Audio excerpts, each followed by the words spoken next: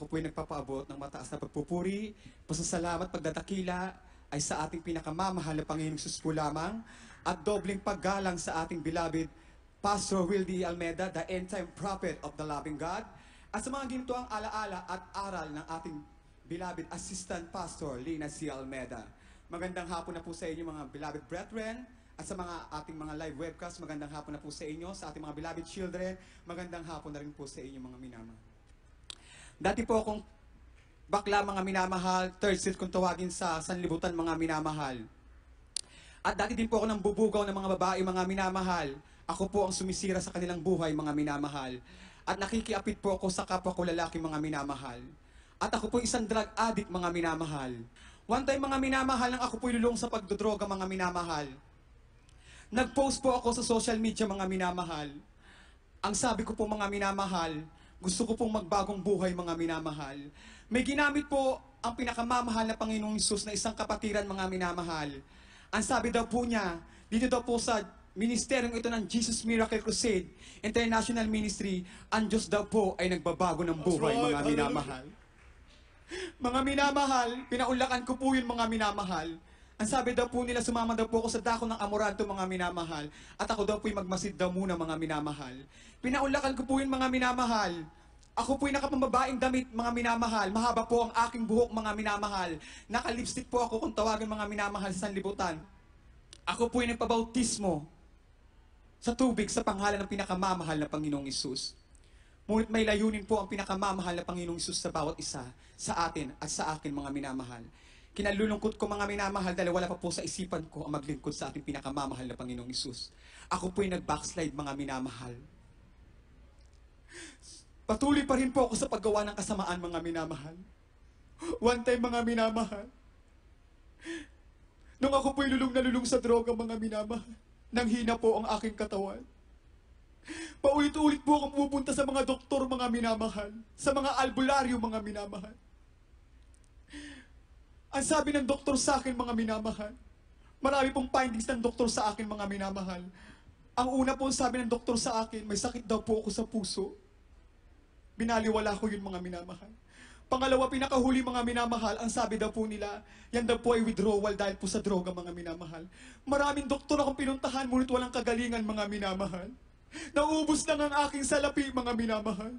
Ang sabi ng aking ina, padoktor ka ng padoktor, wala ka namang karamdaman. Mga minamahal, pinakahuli pong findings ng doktor mga minamahal. STD daw po ang aking sakit. Sexual transmission disease mga minamahal. Ako po'y nangamba sa aking puso mga minamahal. Baka ito po'y pamunta ng HIV mga minamahal. Ngunit dakila po ang ating pinakamamahal na Panginoong Isus. Nagpates po ako mga ma- minamahal. Ito po ay negative mga minamahal.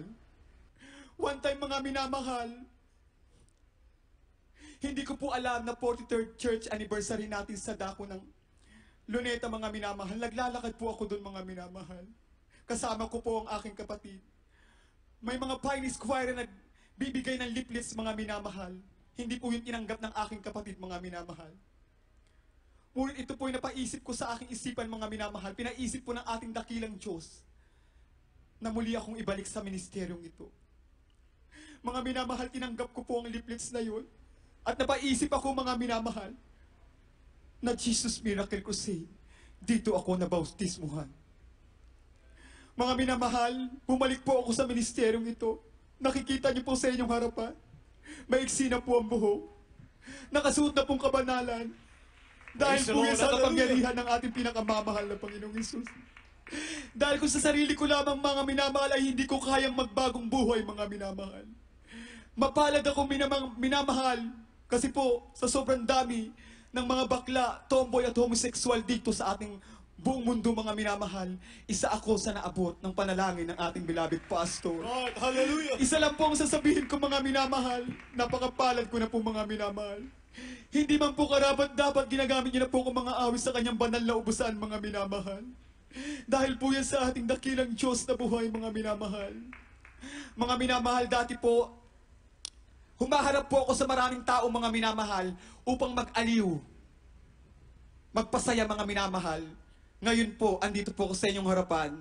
Nagpapatotoo na binago ng Diyos ang aking buhay sa ministeryong ito, mga minamahal. Hallelujah. Dati mga minamahal, ang laging hawak ko mga minamahal. Lipstick, foundation, mga minamahal. Ngayon mga minamahal, hindi ko po kinaliligtaan mga minamahal. Laging hawak ko ay ang banal na kasulatan ng pinakamamahal na Amen. Panginoong Jesus. Nagpapasalamat po ako sa ating dakilang Diyos na buhay.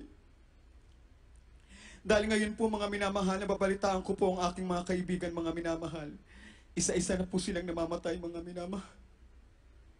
Lord, andito po ako sa inyong harapan mga minamahal. Buhay na buhay mga minamahal. Hallelujah, hallelujah. Praise the Lord. Thank you, thank you, dearest Jesus. Kahit hanggang dito na lamang po, ang pasasalamat at pagdadakila at pagsamba ay tanging sa ating pinakamamahal na Panginoon Jesus po lamang. Hallelujah, hallelujah. Praise the Lord.